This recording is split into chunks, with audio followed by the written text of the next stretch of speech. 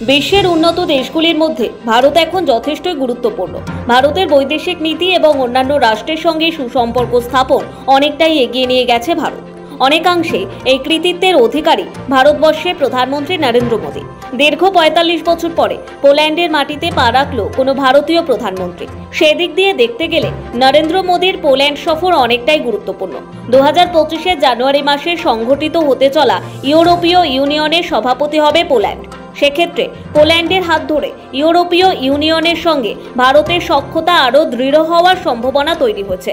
পোল্যান্ডের প্রধানমন্ত্রী ডোনাল্ড ট্রাস্কের সঙ্গে বৈঠকের পর মেক ইন ইন্ডিয়া প্রকল্পের সঙ্গী হওয়ার জন্য সে দেশের বাণিজ্যিক মহলকে আহ্বান জানায় নরেন্দ্র মোদী। পোল্যান্ডের সঙ্গে সামরিক অস্ত্র সংক্রান্ত বাণিজ্যের সম্ভাবনাও তৈরি হচ্ছে পোল্যান্ড সফর শেষে আরেকটি ঐতিহাসিক সফর করলেন নরেন্দ্র মোদী। শুক্রবার ইউক্রেনের কিয়েভে পৌঁছলেন প্রধানমন্ত্রী নরেন্দ্র মোদী। উনিশশো একানব্বই সালে সোভিয়েত ইউনিয়ন ভেঙে বেরিয়ে আসে ইউক্রেন। বিগত কয়েক বছর ধরে ইউক্রেন এবং রাশিয়ার যুদ্ধ চলছে। সেই যুদ্ধের উত্তাপের আঁচ পৌঁছেছে ইউরোপীয় ইউনিয়নের মধ্যেও। সেই যুদ্ধ আবহে উনিশশো একানব্বই সালের পর এই প্রথম কোনো প্রধানমন্ত্রী পা রাখল কিয়েভে। চলতি বছরে রাশিয়া সফরে গিয়ে ভ্লাদিমির পুতিনের সঙ্গে বৈঠক করেছিলেন নরেন্দ্র মোদী।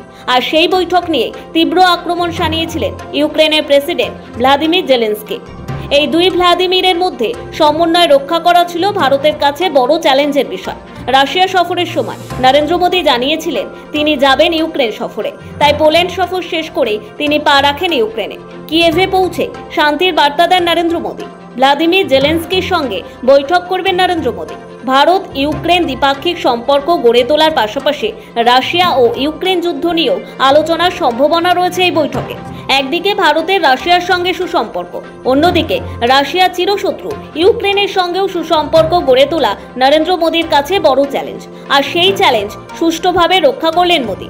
একদিকে ইউক্রেনের মাটিতে দাঁড়িয়ে ইউরোপীয় ইউনিয়নের মধ্যে সমন্বয়ের বার্তা এবং শান্তির বার্তা যেমন দিলেন নরেন্দ্র মোদী তেমনি গ্লোবাল সাউথের অন্তর্ভুক্ত দেশগুলির মধ্যেও খাদ্য ও শক্তি নিরাপত্তা এবং শান্তির বার্তাও দিয়েছেন নরেন্দ্র মোদী সেক্ষেত্রে দাঁড়িয়ে চীন এবং পাকিস্তানকে কার্যত সরিয়ে রেখে গ্লোবাল সাউথ সামিটের আয়োজক দেশ হিসেবে একশো দেশের ভার্চুয়াল সম্মেলনে অংশগ্রহণ করেছিলেন মোদী।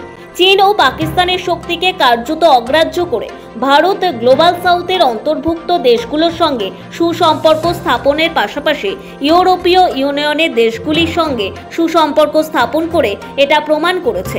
যে আজ ভারত বিশ্বের মঞ্চে মাথা উঁচু করে দাঁড়ানোর জায়গায় রয়েছে। সেক্ষেত্রে প্রধানমন্ত্রীর পোল্যান্ড এবং ইউক্রেন সফর উল্লেখযোগ্য ভূমিকা নিয়েছে একথা অনস্বীকার্য।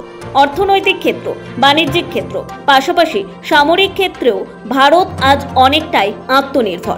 এই অগ্রগতি ধরে রেখে বিশ্বের উন্নত দেশগুলির তালিকায় ভারত তার অবস্থান কতটা উপরে নিয়ে যেতে পারে সেটাই এখন দেখার। ব্যুরো রিপোর্ট, সময় কলকাতা।